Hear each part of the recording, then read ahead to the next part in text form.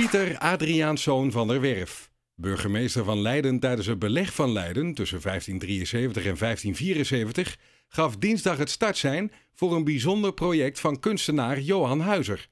Rembrandt is mijn naam, geboren 1606. De Weddesteeg in Leiden, dat is nu mijn adres. Ach, Rembrandt van Rijn, niet langer alleen. Je ziet naar het donker nu het licht.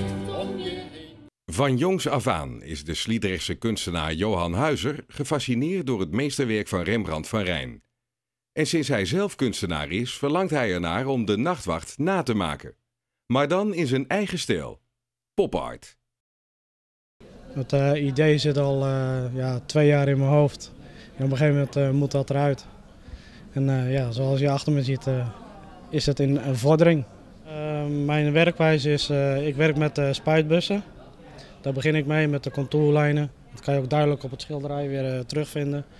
En eh, daarna wordt het met de, de kwast eh, ingekleurd. En, eh, mijn kenmerken eh, zijn meestal eh, de witte ogen en de witte monden. Die nu nog zwart zijn, ja. Ja, klopt. Dat moet allemaal nog gedaan worden. Vanwege de omvang van het project en het formaat van het doek kon Huizer niet in zijn eigen atelier werken. Dus zocht hij een partner en een geschikte locatie. Die partner vond hij in Aart-Jan Verdold, algemeen directeur van Green Real Estate BV. Wij hebben dit project ondersteund als een cadeau voor ROC Leiden. Naar aanleiding van de nieuwbouw van hun school, hun werk-leren omgeving.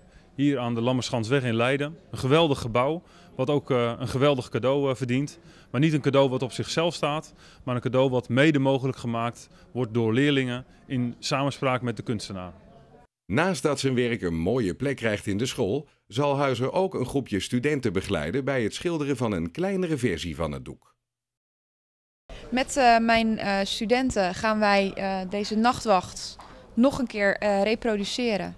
En dan op onze eigen wijze, in onze eigen versie. En die nachtwacht komt ook in het ROC in het nieuwe gebouw te hangen. De leerlingen vinden het heel leuk. Die zijn nog een beetje afwachtend of ze het wel kunnen. Maar ik denk dat het wel gaat lukken.